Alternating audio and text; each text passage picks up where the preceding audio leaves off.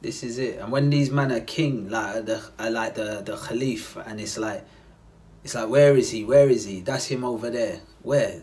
This is your ruler. This is your king. Mm. This is your ruler. This is your king. Sitting by a tree, mm. on his own. Where's his palace? Where's his throne? Where's his security? Cleaning the blind Say, woman's no, house at night time. Look, clean it like no, we mm. don't have that. These, but look at us today. Like today, man gets a little following online, and it's like so. Man's calling that like we're pointing out other people's sins. Like brother, you need to stop this. You need to fix up, bro. You we all need like you see the whole the entitlement, like the proudness, and you see me. You see me. It's like I don't think I've got the right, the right to try and anyone speak down to anybody. You've never seen I ain't got the right. Who am I to be speaking down to another person? Belittling another person, looking down on another person. Like I'm trying to be in a way where I want Allah to be with me. So if I mm. see someone doing something wrong, I'm gonna show a bit of mercy and a bit of compassion and say, Do you need any help? Because that's what I want. I need man to show mercy. I need Allah to show mercy to me, compassion and and help me. You see me, and I'm not attacking no one who's done whatever. Everyone's got their own way of doing things, but you see me. At the same time, I just think, yeah, but man needs to help him. Man needs to help her. Like obviously something's wrong. Do you understand? How can we help? Not how can we destroy, how can we help? Because I know when I'm low and I'm ruined, man better come and help me. Do you understand? Help. Don't try and ruin like, yeah, you see, let's finish him off. Like, you know, like in wrestling, he's down, let's go from the top ropes, bam, finish him off now. Now he's not coming up, pin him, one, two, three, dead. It's like that's what we want to do, like finish each other off. Hmm. Like help, help. And my thing is this, like we have to like we have to like want good in the world and we have to try and like try and enforce good in the world but at the same time we have to lose the ego like we're not no one's special only by allah's mercy only by allah's mercy are we gonna get paradise So, so it's not our deeds it's not our deeds like it's not the greatness of us like we're good. We're all mash up. That's the way i see it. None of us are good enough. None of us are good enough bro. This is the truth. I ain't good enough. No one's good enough. Like no one stop acting like you're good enough or this one's good enough. We've all got shortcomings. None of us are good enough. The same person you're looking at saying right he's da," you also have issues and shortcomings. None of us are good enough. So how are we going to lift each other up Stop thinking about putting it. How can we lift each other up?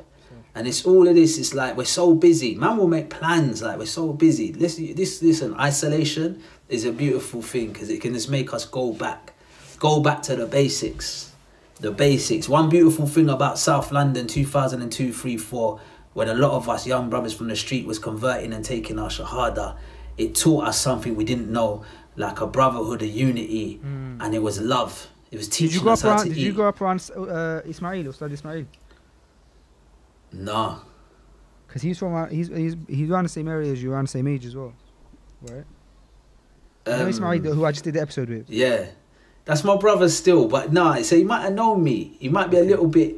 Um, but I've known Ismail for years. Okay. For years, years, years, years, years. That's my brother. My brother. Yeah. Known him for years. He um, used to see him in Lewisham Masjid. Like I see, I watched he him grow. yeah, yeah, yeah, I watched him grow, and it's like, ah, what, an- what? Like, you see that, but you see what it is when you see brothers like Ismail, and you hear the way they speak. You hear the love and the Yeah. peace. Yeah, yeah, yeah. Yeah, the peace. They yeah, say you're right. can always you can always tell how much knowledge someone really has by their character. So, Their character speaks volumes, mm, and you see that they just want to spread love wherever they go, mm, and they don't act like they are on a pedestal. And that's what makes me proud. Of, like so happy when I see that brother speak, and I heard him speaking about certain issues, and he's still talking about Alhamdulillah. mm. You know, whatever Allah wills, bro. And this is what we have to have this humility and just go back to our essence. And the way our brotherhood was then, it's like it was a togetherness, and we all was trying to lift each other up. And we were coming as street boys that used to go out to do badness, and that that that the what Islam done to us then. Such a beautiful thing, and we've come such a long way.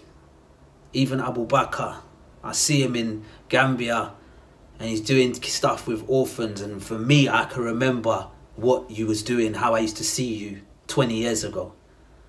And it makes me smile. And I think of Musa, Salam. And I see he's doing reso and giving trainers to homeless people. And I look at him and I remember seeing him and thinking what you was doing 20 years ago. And the same with Ismail. And the same with so many brothers. And it's like, you know what? This is a beautiful thing and let's keep it beautiful. Let's not ruin it. Like, like let's not destroy the image of it. You know what I mean? It's like I went on a a live with some in a non-Muslim group. And sometimes it's like I should never have to be scared of what the Muslims are going to come and say. The Muslims are people of beauty and peace. Do you understand? But sometimes it's like when I've got a mixed audience of Muslims and non-Muslims, I'm more fearful of what the Muslims are going to be saying than what the non-Muslims are going to be saying. And this ain't right. Nah. Because uh, this is not right. We're meant to be the people of peace and love and beauty. I'm meant to be saying to the non-Muslims, look at how my Muslims conversate. Look at their comments. Look at the beauty. That's dawah. Instead, I've got the non-Muslim saying to me, wow, I'm scared to comment on your page, bro. I'm scared to even write something because it's like your Muslim followers just go ham. Like uh, once I got a non-Muslim said something on my page like about Mecca. The guy's like known, had number ones in the charts, got a blue tick, like he's a big platinum selling artist. He said something about Mecca, that looks peaceful, I'd love to go there. All the Muslims start telling him he can't go because he ain't a Muslim. He has to take his shahada first. It's not for kafirs. It's a- And I'm saying, rah. Till where a man wants to delete his comment. I was giving someone so much dawah. Sorry. And they Nah, what and they and they and they and they became a Muslim. They were a new Muslim, like, and and it's like they loved it. And then I got a message saying, "I don't know if this is for me."